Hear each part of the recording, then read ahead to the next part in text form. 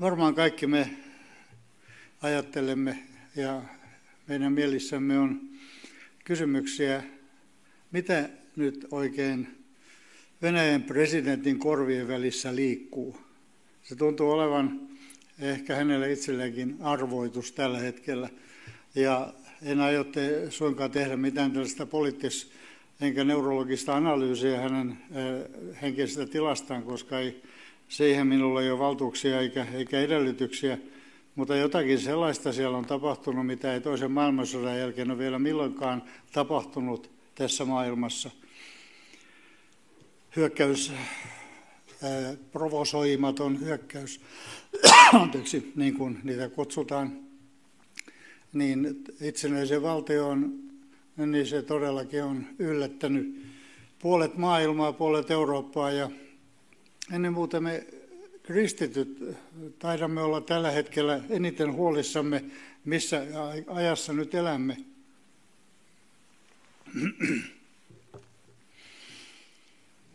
Ensinnäkin mä haluan lohduttaa teitä sillä tietoisuudella, jonka te varmasti kaikki muutenkin tiedätte, mutta sillä vakuutuksella, että tässä ajassa, täällä maapallon pinnalla, ei tapahdu yhtään mitään, mikä ei olisi Jumalan sallimaa.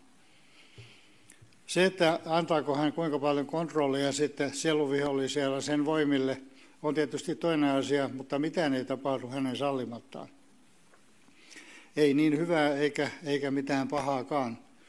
Kaikki valta, mikä meidän vihollisellamme on, on rajattua valtaa. Ja tämä sama pätee kyllä ihan Vladimir Putinin siinä kuin kaikkiin muuhunkin maailman johtajiin. Sikäli tämä on aika erikoinen tilanne, että jotkut valtiot sentään ovat hyväksyneet tämän Putinin tekemän aggression. Ja kun me katselemme, ketä, mitkä valtiot tässä ovat mukana Venäjän lisäksi, niin sen ovat hyväksyneet Syyria, joka kulkee täysin Venäjän talutusnuorassa, Valko-Venäjä, vielä enemmän sama asia, Iran, Eh, jonka yhteys Venäjän ja Googiin tulee seuraavassakin osiossa esille. He ovat hyväksyneet aivan varauksetta tämän eh, Venäjän hyökkäyksen. Intia on eh, mukana toki sillä varauksella, että he eivät tuomineet suoraan tuota hyökkäystä, mutta heillä on niin mittavat asekaupat Venäjän kanssa tekeillä ja raha on liikkunut suunnattomia summia, että kovin hevin Sieltä ei tuomitsevaa lausuntoa löydy. Kiina on vähän saman ongelmansa edessä. Hekään eivät oikein tiedä, miten suhtautua, tai tietävät kyllä, miten pitäisi suhtautua, mutta eivät toimi tällä tavoin. Ja sitten tietysti Pohjois-Korea, joka on aplodeerannut voimakkaasti Venäjän liikkeisiin.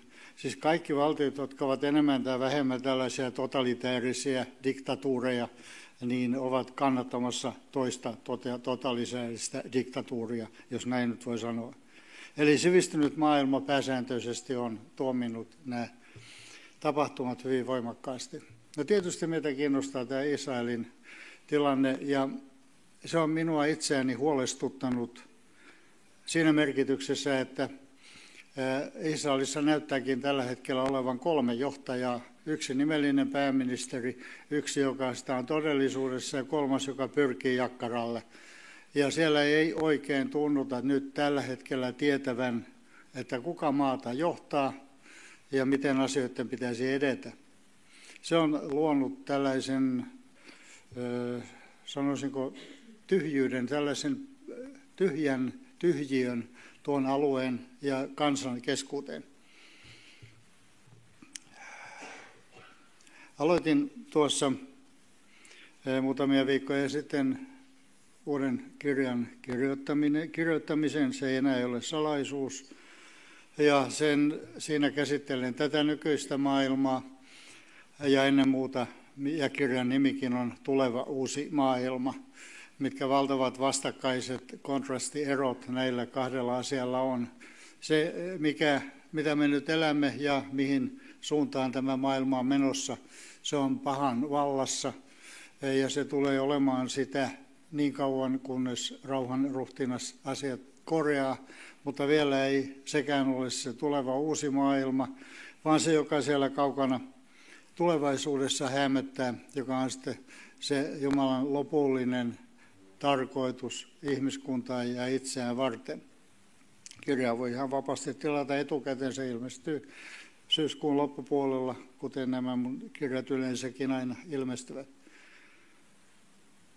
Miten tämä meidän oma, oma rakas kotimaamme nyt sitten pärjää tässä kokonaisuudessa? On hyvin yllättävää, että meidän presidenttimme kutsuttiin Washingtoniin vain parin päivän varoitusajalla.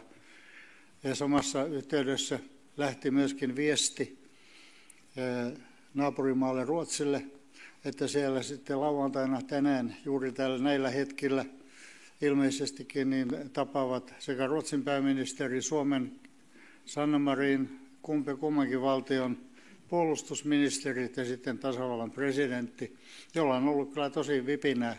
On sukkuloinut tuossa Yhdysvaltojen ja Suomen välillä, välillä melkoisen tiivistä tahtia. Ja mitä kaikkea hänellä on sitten tuomisinaan, todennäköisesti sitä kaikkea ei meille edes vielä paljasteta. Mitä ilmeisemmin kyse on jonkinlaisista laajennetuista turvatakuista ynnä muista asioista, jotka parantaisivat tämän meidän kotimaamme mahdollisia tulevia puolustukseen liittyviä ratkaisuja. Koitan nyt hahmotella tämän sanomani siten, että en astuisi tasavallan presidentin varpaille, enkä sitten sanoisi jotakin, mikä ehkä ei olekaan, olekaan aivan täsmällisesti niin. Tämä minulla melko selkeä käsitys on, mistä siellä, siellä nyt puhutaan ja mikä on tuo tuleva, tuleva neuvottelujen lopputulos, mutta odotetaan nyt, että herrat ja viisaat sen sitten meille kaikki kertovat yhteen ääneen. Meillä Suomessa on kyllä ihan ongelmia omastakin takaa. Ja joskus ihmetellyt tässä viimeisten vuosien aikana, en ole isän maaton, vaan olen patriotti ihmetellyt kylläkin, että kuinka kauan Jumala se katsot tämän meidän kansamme puoleen. Koska tämä meidän kansamme ja kansakuntamme suhte, suhde raamattuun, kristinuskoon, se näyttää tällä hetkellä olevan inflaatiotilassa. Ja se on ollut sitä jo useamman vuoden ajan, ja eikä suuntaus ole suinkaan ylös, vaan pikemminkin alaspäin. Kaikki varmaankin muistatte tai tiedätte, mitä tapahtui vain kolmisen kuukautta sitten YK yleiskokouksessa joulukuun alussa. Jos te ette sitä tiedä, niin kerron teille, että siellä oli hämmentävä eh, yleiskokouksen tällainen istunto, jonne palestinaishallinto oli tuonut oman esityksensä, jonka mukaan eh, temppelivuoden alueella Jerusalemissa – ei ole milloinkaan ollut ainuttakaan juutalaista temppeliä, eikä alueessa, alueella ole minkäänlaista juutalaista rakennusta, eikä siellä ole mitään juutalaisen historiaan viittaavaakaan. Ja tällainen esitys tuotiin YK yleiskokouksellisesti ratkaistavaksi ja pyydettiin siitä sitä äänestystä. Ja niinpä me, me suomalaiset, eli meidän ulkoministeriömme, joka hoitelee noita äänestyksiä, äänesti tuon päätöslauselman puolesta. Eli nyt me suomalaiset olemme ulkopoliittisesti virallisesti sitä mieltä, että Jerusalem ei ole koskaan ollut juutalaisten, minkään juutalaisen valtion pääkaupunki, eikä koko alueella ole minkäänlaista juutalaista historiaa, vaan kaikki alueen historia on puhtaasti palestinalaista historiaa ja islamilaista historiaa. Tietysti tämä herätti hämmennystä muun muassa Israelin lehdistössä, koska Suomea nyt on yleensä pidetty tällaisena kristillisenä länsimaana, maltillisena, kristillisenä, protestanttisena länsimaana. Niinpä kansanedustaja Peter Östman, Östman Vaasasta teki asiasta eduskuntakyselyn, johon tietenkään hallitus ei ole vastannut. Ne yleensä ei tuppa vastaamaan mihinkään tällaisiin kysymyksiin on paljon tärkeämpiäkin asioita hoidettavana kuin Israel-Palestina kysymys, mutta kantaa siihen kyllä osataan ottaa. Ja itse jouduin sitten hieman, sanoisinko, iskemään nyrkkiä pöytään. Hyvin harvoin sellaista tapahtuu, mutta joskus vähän, sanoisinko, suutahtaa. Ja päätin kirjoittaa ulkoministeri Haavistolle kirjeen ja kysyä häneltä, että millä historiallisella perusteella ja dokumenteilla Suomi äänesti tuon päätöslauselman puolesta. Se oli hyvin kohtelias, sivistynyt kirje ja sain koko lailla hyvää päivää kirvesvartta vastauksen, että hänen ulkopoliittisia asioita hoitaa ulkopoliittinen avustaja se ja se kääntykää tämän, tämän puoleen. No sitten käännyin tämän ulkopoliittisen avustajan puoleen ja, ja liitin hänelle dokumentteja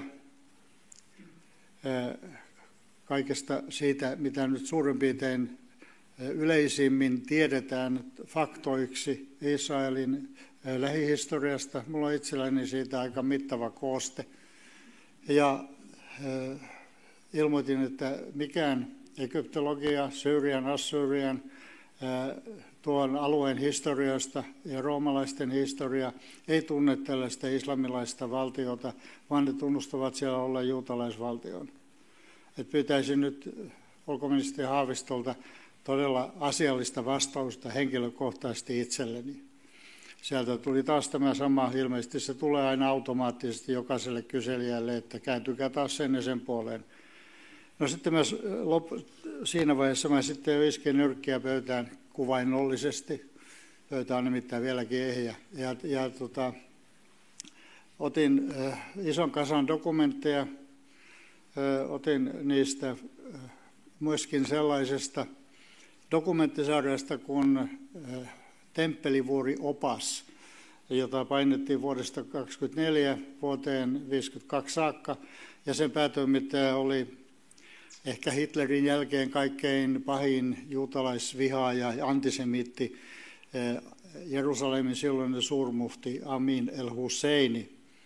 Mutta hänenkin tuossa eh, vihkosessaan, mulla on se nimittäin itselläni, niin siinä kuvailtiin selvästi, että tämä alue on kiistatta ollut paikka, nyt mä puhun Temppelivuorosta, jonne tuotiin kuningas Davidin aikainen ilmestysmaja – sen jälkeen sinne rakennettiin eh, hänen poikansa kuningas Salomonin aikainen temppeli, joka sitten tuhottiin vuonna 586, ja jonka jälkeen sinne sitten rakennettiin Herodeksen aikaan niin sanottu toinen temppeli.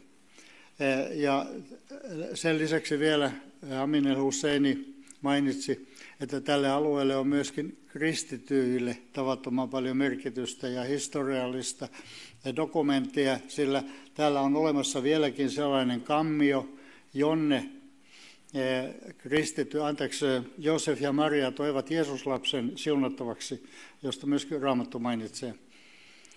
Eh, Eli hänen, siis jo kaikkein vannoutuneimman juutalaisvihaajan dokumentti ja alle noin 80 vuotta vanha sellainen todisti kiistatta, että alueella on ehdottomasti ollut juutalaista historiaa ennen islamilaista historiaa, joka syntyi vasta 600 vuotta meidän ajalaskumme jälkeen.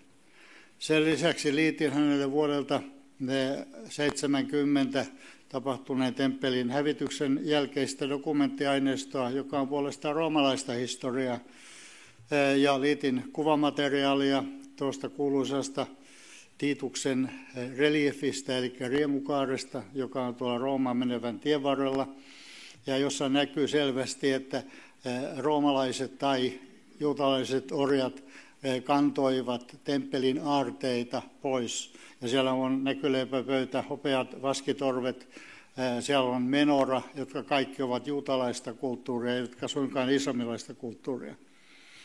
Ja kaiken lopuksi sitten vielä laitoin hänelle kopiot tuon Tiituksen sen jälkeen, kun hänestä tuli keisari, hän oli vielä sotapäällikkö tuolloin, isä kuoli ja hänestä tuli Titus Vespasianus, eli Rooman keisari.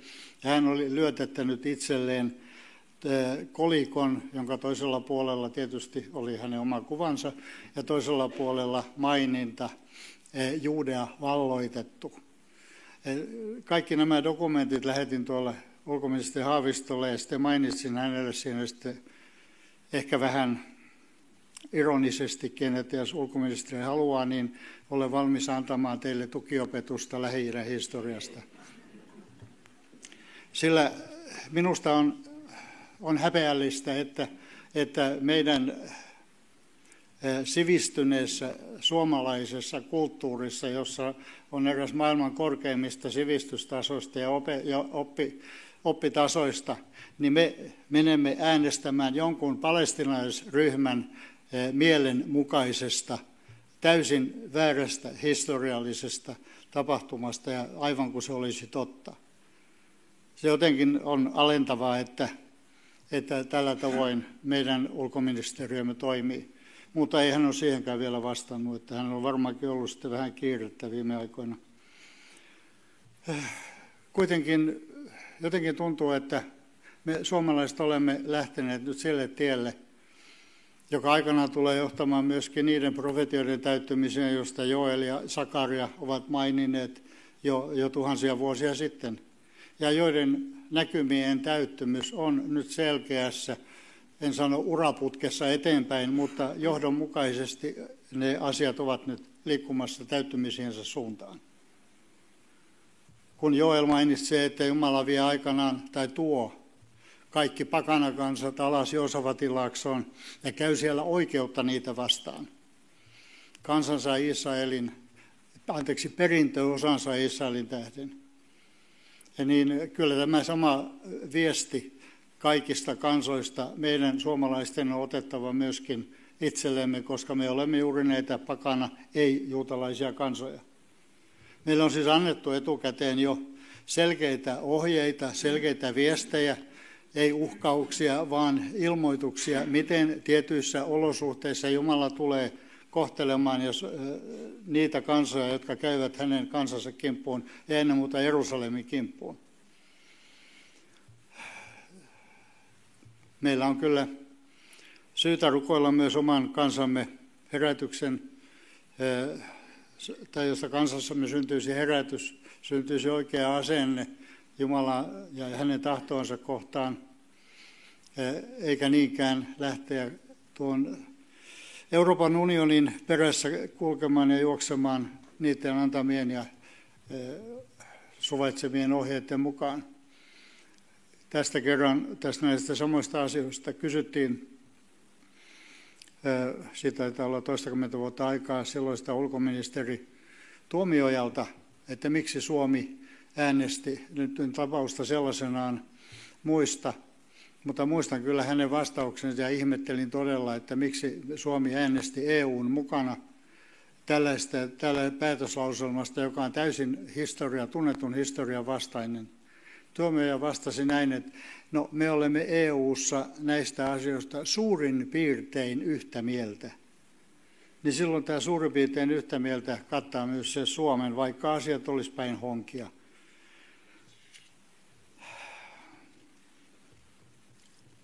Mikä eh, ihmeen eh, vimma saa meidät suomalaiset kannattamaan tuota palestinaishallintoa? Nyt en puhu ihmisistä, jotka asuvat ja elävät huonoissa olosuhteissa, vaan siitä, miksi he elävät huonoissa olosuhteissa. Ja se ei suinkaan ei ole meidän suomalaisten syy, vaan se on heidän oma hallintonsa syy joka on täysin korruptoitunut, jolla ei ole minkäänlaista ajatusta, tavoitetta milloinkaan ollut elää rauhassa, jossain vaiheessa rauhassa juutalaisvaltion rinnalla, vaan alusta alkaen heidän tavoitteensa on ollut juutalaisvaltion tuhoutuminen ja tuhoaminen keinolla millä hyvänsä ja ajan, aikajaksalla millä hyvänsä. Kuitenkin me suomalaiset olemme tukeneet heitä tämän unionin kautta sadoilla, sadoilla miljardeilla, miljoonilla dollarilla joka ikinen vuosi. Ja näistä varoista ei ole murto-osakaan mennyt sinne, minne ne on tarkoitettu. Eräänä esimerkkinä, johon itsekin olen puuttunut jo useita vuosia sitten, on ollut tämä koulutuskysymys, joka on ollut eräs tällainen pitkän tähtäimen ongelma, ongelma siinä merkityksessä, että koulutus itsessään ei ole ongelma, vaan se, että mitä opetetaan ja mitä koulutetaan.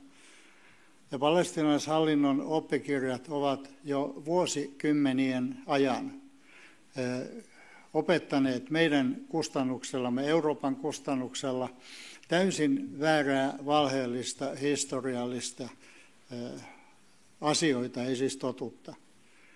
Ja näihin on nyt sitten vasta muutamia vuosia sitten puututtu. Olin itse yksin tällainen huutavan ääni erämaassa, niin kuin tällainen yksittäinen henkilö voi vain olla.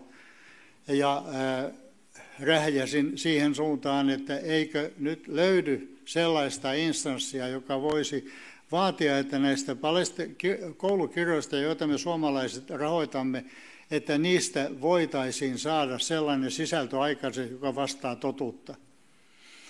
Muistan erinomaisen hyvin, kun oli kysymys isosta rahasummista siinä vaiheessa ja palestinalaiset sitoutuivat muuttamaan koulukirjojensa sisällön sellaiseksi, joka hyväksytään myös yhteisesti Euroopan unionissa. Ja siihen oli sitten tyytyminen ja rahavirrat jatkuivat ja jatkuivat vain ja nousi jälleen muutaman vuoden kuluttua esille uusi kysymys. No katsotaan nyt millaista koulumateriaalia teillä niissä kirjoissa ne on. Ne ei ole muuttanut yhtään mitään, ei ainuttakaan sanaa eikä viestiä. Kaikki samat valheet ja marttyyrien ihannointi, juutalaisvaltion tuhoaminen ja sen historiaa mitätöiminen, kaikki asiat tulevat edelleen esille. Ja sitten Mahmoud Abbas ilmoittikin puolitoista vuotta sitten yksilitteisesti, me ei ota muuten muuttaa koskaan yhtään mitään näiden kirjojen sisällöstä. No siinä vaiheessa tapahtui sitten niin, että nuo varat jäädytettiin. Ja palestinalaiset eivät olekaan saaneet enää rahaa Euroopan unionilta – noihin oppikirjoihin. No ei tietenkään he ole niihin tarvinnutkaan rahaa, koska ne on jo valmiiksi painettua potaskaa kaikki. Ei he ole tarvinnut enää lisää rahoitusta niiden toimittamiseen. Ja kuitenkin Euroopan unioni on nyt sitten osoittanut selkärankaa näissä asioissa. Eräs henkilö, joka tulee tuonne meidän tulevalle risteilylle, hän on Euroopan unionin rahoituskomissiossa tilintarkastajana ja tietää hyvin, miten siellä varoja käytetään. Tulee niistä myöskin silloin kertomaan. Ja tiedän, että, että siellä on käynnissä tällainen melkoinen polemiikki asioista, että me olemme haskanneet rahaa satoja, satoja miljoonia, emmekä ole saaneet vastineeksi yhtään mitään. Ja aletaanko niitä sitten perimään takaisin tai ei, se on toinen asia. Mutta joka tapauksessa katselen juuri tämän päivän aivan uusinta viestiä Palestinan hallinnolta, jossa he ilmoittavat, että he eivät tule koskaan muuttamaan yhtään mitään näistä heidän oppikirjojensa sisällöstä. Päinvastoin he tulevat lisäämään tätä samaa materiaalia ja samaa informaatiota juutalaisvaltion olemassaolon mitätöimisestä vielä runsaimmin määrin.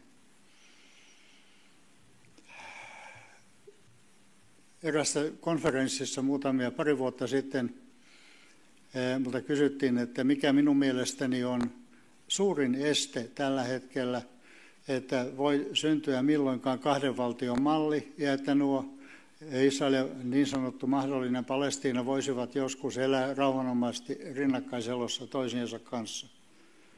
Ja mä vastasin, että äh, puntaroin tietysti, että mitään kaikkea nyt olisi sellaista kaikkein oleellisinta. Oleellisinta eivät ole sen hetkiset terroristiteot, eivätkä äh, syytökset toinen toisiaan vastaan, vaan oleellisin asia on pitkäjänteisesti se kokonaiskuva, että jo neljän vuosikymmenen ajan näitä ihmisiä, siis palestinalaisia, on opetettu heidän kouluissaan alakouluissa, päiväkodeissa, eka, ensimmäisillä ala-asteilla, yläasteilla ja, ja lukioissa ja näissä ylemmissä oppiasteissa järjestelmällisesti väärän historialliseen tulkintaan Lähi-idän tapahtumista. Ja kun tätä on jatkunut jo vuosikymmeniä ja sille ei ole tehty yhtään mitään, ja se sama toistuu päivittäisissä medioissa, se toistuu päivittäisissä moskeijoissa, rukoushetkissä, niin sen vaikutus se on, se on aivan kuin kylvettäisiin maahan tiettyä tavaraa, viljaa, joka kasvaa sen sellaiseksi kuin se siemen on ollut. Heille on täysin mahdotonta ajatella, että tuo, vene, tuo juna pystyttäisiin kääntämään toiseen suuntaan tai laiva ohjata toiseen suuntaan. Eivät he voi millään lähteä yhden tai kahden tai kolmen vaatimuksen perästä uudistamaan koko oppimateriaaliaan, se on totaalisen täysin mahdotonta.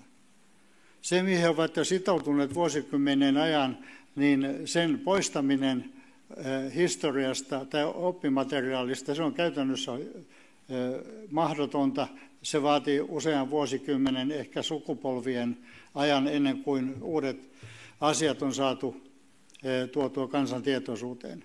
Ja samalla nousee tietysti kysymys, ja miksi meitä on sitten opetettu tähän saakka väärin, jolloin syytökset osuvat sitten tuon hallinnon puoleen.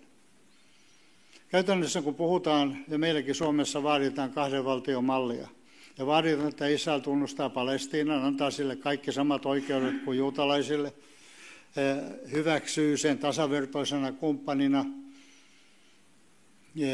ja silloin kuulemma tulee rauha. Mä olen varmasti tässäkin salissa näistä asioista puhunut aikaisemmin ja monessa muussakin yhteydessä, mutta kysymys on, eh, se on niin naivi, se on siinä merkityksessä lapsellinen, että se, eh, sen koko suuntaus liittyy ja kohdistuu vain yhteen ryhmään, tähän palestinaisryhmään. Ja se, heille pitää saada oikeudet heidän omien lähtökohtiensa ja vaatimustensa mukaan. Jolloin juutalaisvaltio joutuu olemaan se antava osapuoli. He joutuvat hyväksymään rinnalleen valtion, jos tällainen menisi läpi, joka ei aio tunnustaa heidän oikeuttaan olla olemassa alueella juutalaisvaltiona. Sitä nimittäin palestinaiset eivät voi koskaan tehdä, koska se on heidän uskontonsa vastaista. He ovat sitoutuneet siihen, he ovat opettaneet, että tällä alueella ei koskaan ollut juutalaisvaltiota. Sitä ei voi siis olla siellä jatkossakaan, koska meidän uskontomme, joka opettaa meitä suhtautumaan asioihin tällä tavoin, se vaatii meitä toimimaan näin. Tällaista, sanoisin kuin väärän väärän mielikuvan luomaa opetusta tälläkin hetkellä esiintyy meidänkin maassamme hyvin runsaasti. Esiintyy sellaista ajatusta, että eh, silloin syntyy rauha, sen jälkeen syntyy rauha, kunhan nämä asiat saadaan ensin kuntoon. Eli Israel purkaa kaikki nuo muurit pois, eh, purkaa siirtokunnat länsirannalta, antaa puolet Jerusalemista eh, palestinalaisille – sen jälkeen sitten tulee rauha. Aivan kuin ihminen ei oppisi tästä historiasta yhtään mitään. Voitaisiin kysyä, että oliko rauha silloin alueella todellinen, kun Jordania piti hallussaan noita alueita, sekä länsirantaa, itäistä Jerusalemia, vanhaa kaupunkia. Oliko silloin rauha maassa? Oliko ihmisillä toisiaan kohtaan hyvä tahto ja halusivat elää rauhanomaisessa rinnakkaiselossa toistensa kanssa. Jos olisi näin olleet asiat, niin miksi silloin jo 10 vuotta, 15 vuotta aikaisemmin perustettiin Palestiinan vapautusorganisaatio, jonka ainoa periaatteellinen tähtäin on koko juutalaisvaltion poistaminen lähi. Tällaisia asioita ei media halua edes ottaa käsiteltäväksi. Se pitää vain juutalaisvaltiota yksinkertaisesti syyllisenä kaikkeen, mitä lähi tapahtuu. Ja se on meillä Suomessa, niin kuin muuallakin Euroopassa, hyvin valitettavan tunnustettavaa lähtökohtaista asennetta, niin hallinnoilla kuin, hallinnoissa kuin mediassakin. Aivan kuin historia voitaisiin kirjoittaa uusiksi vain tiettyjen, tietyn yhden poliittisen ryhmän päämärien hyväksi.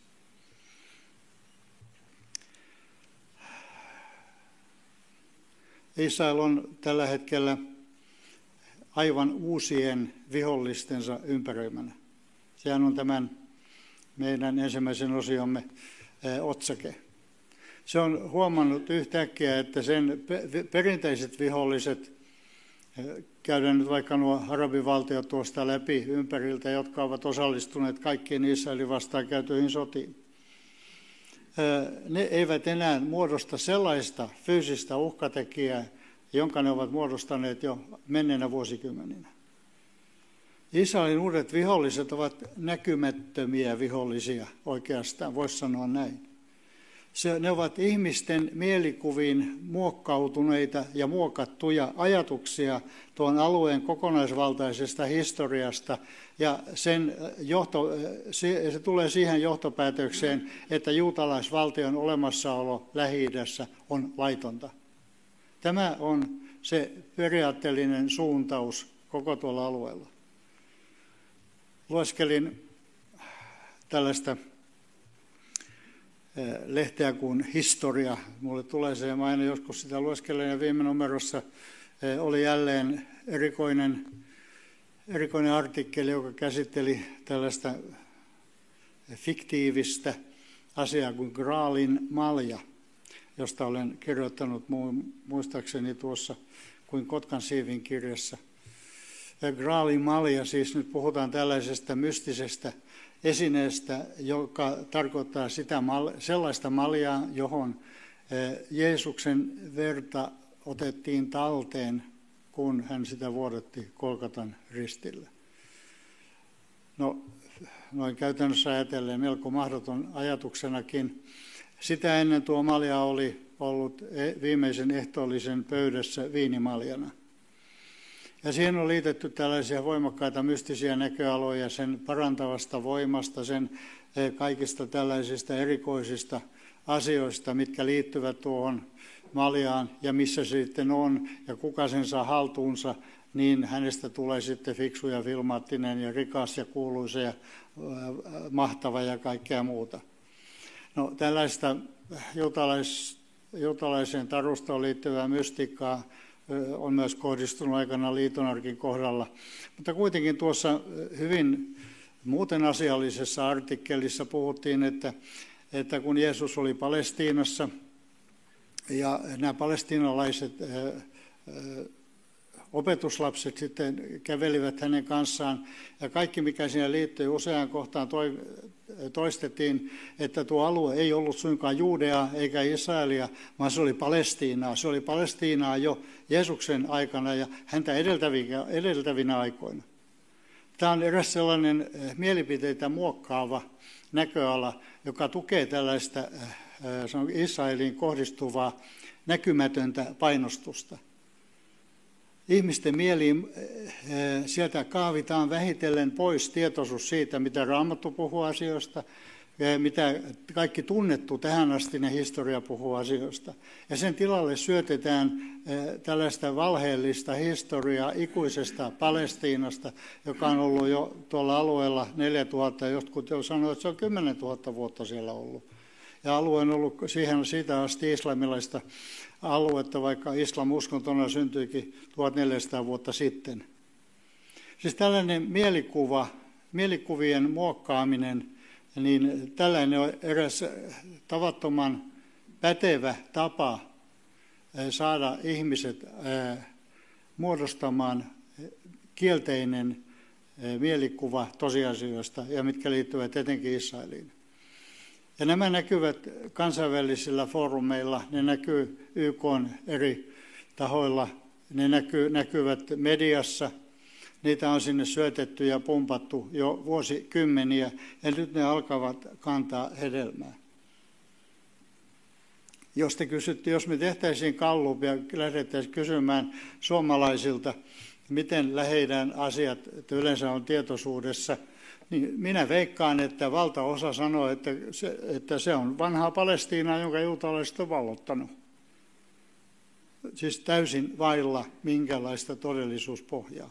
Alueen nimi on eh, toki ollut Palestiina. Se on täsmälleen ottaen keisari Hadrianuksen eh, jälkeen, tai oikeastaan hänen aikanaan vuonna 165 meidän ajanlaskuamme, hän muutti tuon alueen eh, siksi, mistä löytyy nimi Palestiina. Hän liitti sen Syyrian hallintoalueeseen, jota se oli ollutkin, ja se alue oli nimeltään Syyria Filistea. Samalla hän muutti Jerusalemin eh, kaupungin nimen, hävitti sen pois vähäksi aikaa historiasta ja Jerusalemista tuli Elia Capitolina, roomalainen varuskuntakaupunki seuraavaksi kahdeksi vuosisadaksi. Tällaiset mielikuvat, kun ne otetaan uudelleen esille ja todetaan, että eihän juutalaisia ole siellä koskaan ollutkaan, tai jos on ollut, ne on hävitetty pois, ei niitä enää löydy mistään. Ne antavat tavallaan semmoista valheellista legitimiteettiä arvioitsijoille ymmärtää asiat siten, tai sanotaan juutalaisvastaisiksi. Kun siihen sitten liitetään uskonnollisia elementtejä, liitetään jo tuolta kirkkoisien ajoilta katolisen kirkon väittämät ja toteaminen juutalaisista Jumalan tappajina ja kaiken tällaisen pahan alkujuurina ja syinä, niin tämä mielikuva Israelista, juutalaisista on väistämättä kielteinen. Siitä on muodostunut kielteinen. On hyvin vähän ihmisiä, hyvin vähän löydätte positiivista lausumaa mediasta, joka liittyy Israeliin ja juutalaisiin. Kuitenkin niin kuin eräs veli tuossa ennen tilaisuutta kanssani keskusteli, niin me saamme ihmiskuntana olla suunnattoman kiitollisia juutalaisille. Me saamme olla tavattoman kiitollisia siitä kaikesta mitä, hyvästä, mitä he ovat ihmiskunnalle tuottaneet. Teillä kellään, jolla on kännykkä tai sanota, keltä se nyt mahtaisi puuttuakaan, te ette voisi käyttää niitä. Sitä ei olisi koskaan syntynytkään ilman jutallista tekniikkaa. Ja se on vielä olemassa siellä joka puolella. Ette voisi katsoa telkkareita, mennä sairaalaan röntgenkuvauksiin. Puolet lääkeaineista, mitkä nykyään on eniten käytetty, on joko juutalaisten keksimiä, kehittämiä ja ennen, ja, tai sitten heidän omistamien lääkefirmojen valmistamia. Tuo lista on pitkä ja, ja, ja mittava. Koko avaruusteknologia on pohjautunut juutalaisten innovaatioihin, mikrosiruihin ja kaikkeen tällaisen tekniikkaan. Mutta ei tällaista kukaan koskaan muista.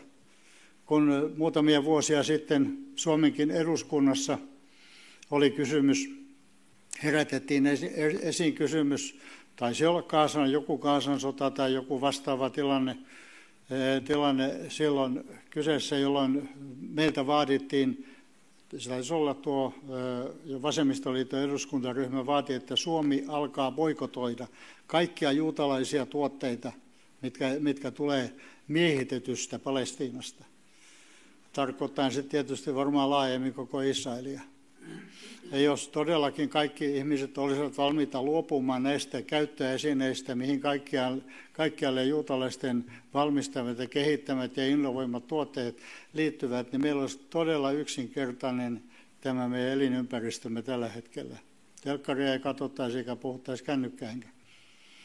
Nämä asiat on tietysti helppo unohtaa ja mitätöidä, eh, kun kysymyksessä on palestiinalaisille, tai sanotaan heille ihmiskunnan mielestä kuuluvat oikeudet.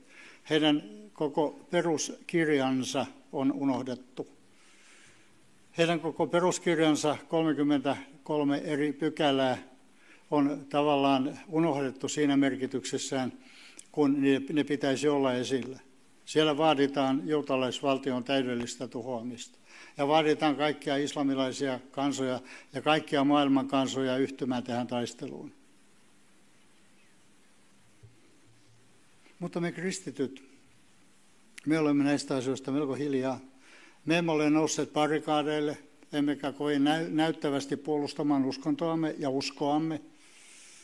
Ja raamattua, miten raamattua asioista meille ilmoittaa ja miten meidän tulisi niihin suhtautua. Ei minä tarvitse katsella kuin erään tunnetun henkilön oikeudenkäyntiin liittyviä asioita – Moni on ollut nostanut asioista jonkun verran ääntä, mutta ei meidän kirkkomme. En ainakaan tiedä yhtään piispaa, joka olisi asettunut puolustamaan Päivi Räsäsen kommentteja, kun ne siterasi raamattua.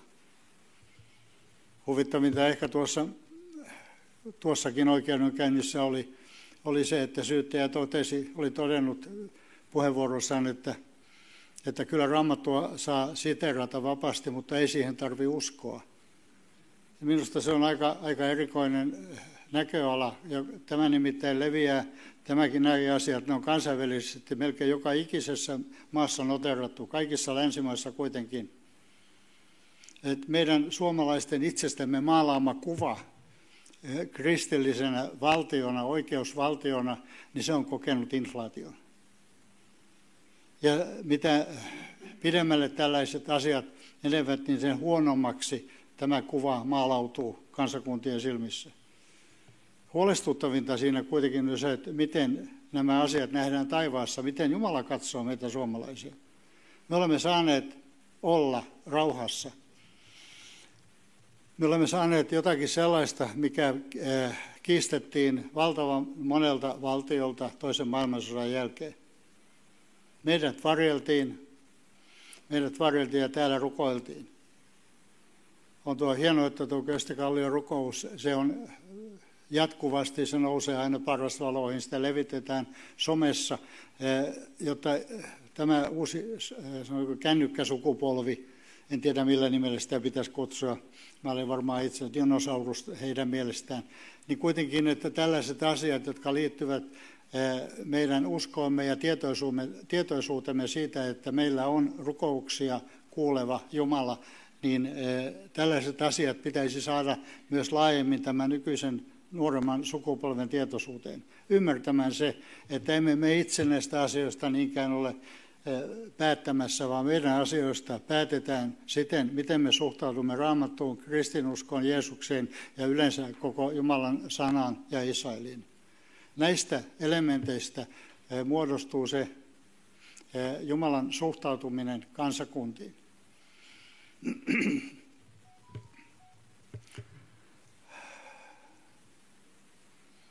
Israel on tässä kohtaa myöskin, sanoisinko, hyvin voimakkaiden valintojen edessä. Se ei tiedä oikein tällä hetkellä, miten suhtautuisi mihinkin asioihin. Ja se johtuu paljolta siitä, että niin kuin alussa mainitsin, heidän hallintonsa on tällä hetkellä kolmijakeinen. Heikko pääministeri Naftali Bennett, hänellä on kuusi kansanedustajaa takanaan se aina täytyy muistaa, että minkälainen voima on puolueella, jonka piiristä pääministeri nousee. Jos hänellä on, niin kuin Netanyahun aikana oli noin kolmasosa Knessetistä oli aina hänen takanaan. Hänellä oli mandaatti. Hän tiesi, että nämä ihmiset seisovat hänen takanaan. Bennettin takana on kuusi, anteeksi, hän itse ja viisi muuta. Ja toinen osapuoli, Jari Lapid, joka tuota, Yesadit-puolue, puoluetta johtaa, ja on ulkoministeri, hänellä on 19 kansanedustajaa. Kun Bennett sanoi Ukrainan tapauksessa, että me emme voi tuomita Venäjän hyökkäystä tuonne, tuonne Ukrainaan, sanoisin toki hyvin varovaisesti, mutta hyvin selvästi. Seuraavana päivänä Jari Lapi sanoi, me tuomitsemme Venäjän hyökkäyksen YKssa ja Benny Gantz, joka oli kolmas, kolmas puolustusministerinä, oli samaa mieltä. Näin pääministeri jyrättiin, vaikka hänen äänensä on kuitenkin kaikkein kuuluvin. Tämä on Israelin kansan ongelma tällä hetkellä. Sieltä puuttuu selkeä johtajuus. Ja tämä tilanne, jossa kansa tällä hetkellä on, he joutuu taistelemaan maailman mediaa vastaan, joka on todella, todella vaikea. Erikoista kuitenkin, että äh, Israelin vastustajat väittävät, että juutalaiset omistavat maailman median.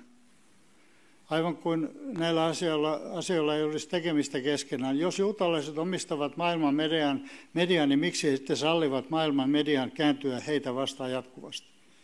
Nämä on näitä tällaisia kliseitä, jotka aina liittyvät siihen, että juutalaiset omistavat jonkun osa lehdestä tai ovat jonkun sanomalehden tai median osakkeenomistajia.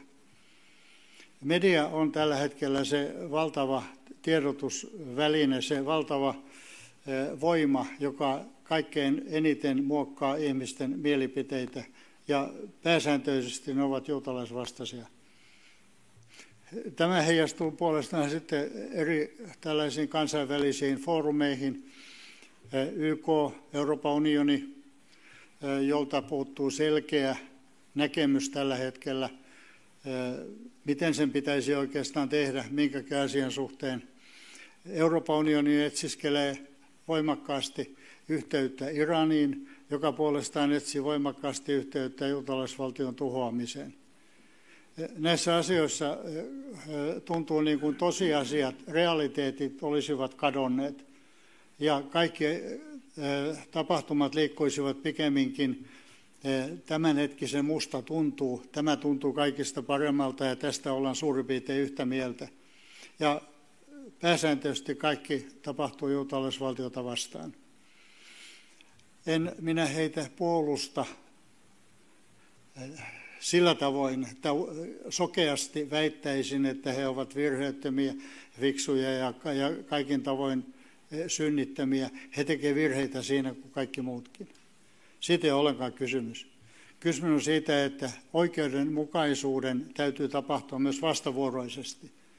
Jos Hamas ampuu raketteja Israelin ja Israel saa syypään siihen, että heitä, he, heihin, heille ammuttiin raketteja ja he vastaa siihen tulitukseen, niin silloin on oikeudenmukaista tuomita kumpikin, jos on sekä lähettäjä että vastaanottaja ja puolestaan iskuun vastaava, vastaava taho.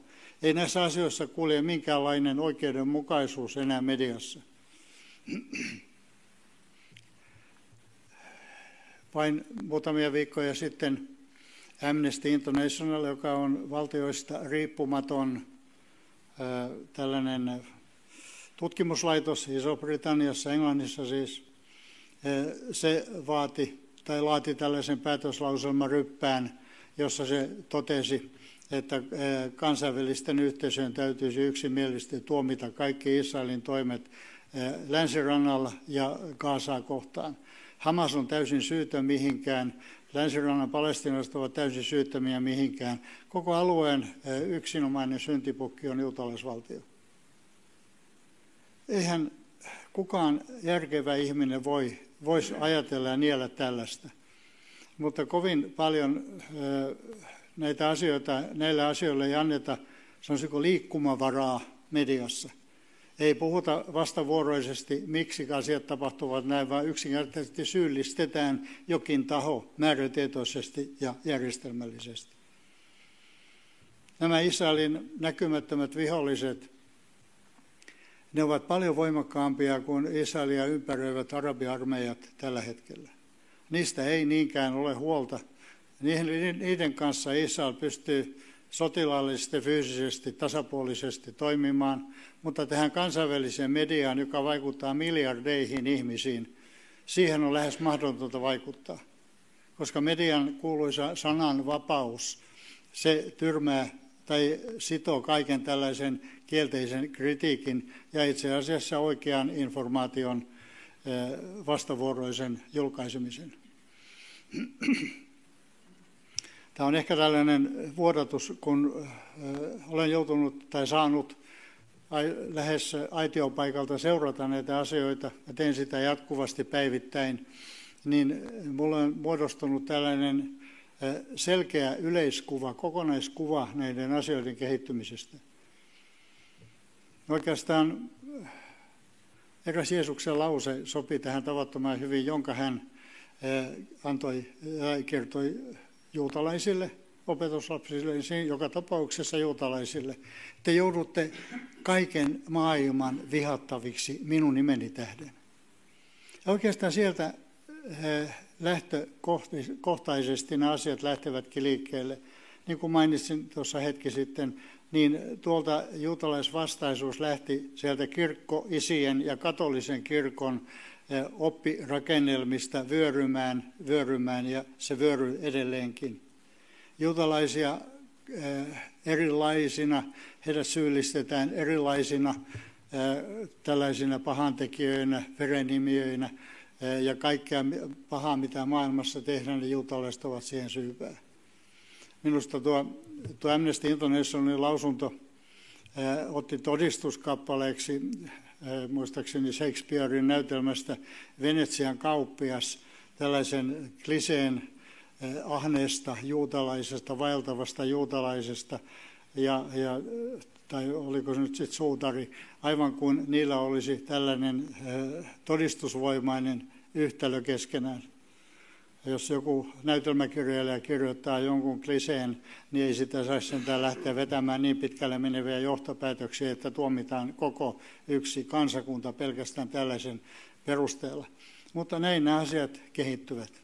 Ne ovat kehittynyt ja pelkään pahoin, että ne tulevat kehittymään tähän suuntaan jatkossakin. Israel on jäämässä yksin. Ja kuten Netanyahu aikanaan pääministerinä sanoi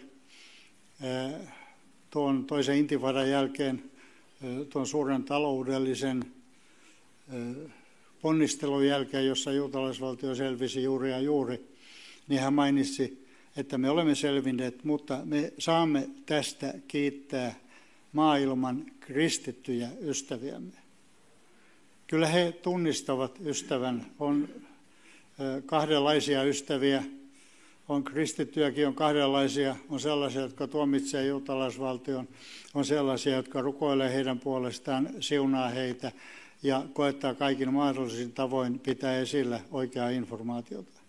Tällaista kristillisyyttä minä peräänkuulutan ja uskallan väittää, että tuolla taivaassakin etsitään tällaista rehellistä, oikeaa suhtautumista tänään juutalaisvaltioon, joka todella kamppailee noiden näkymättömien, voimakkaiden vihollistensa edessä.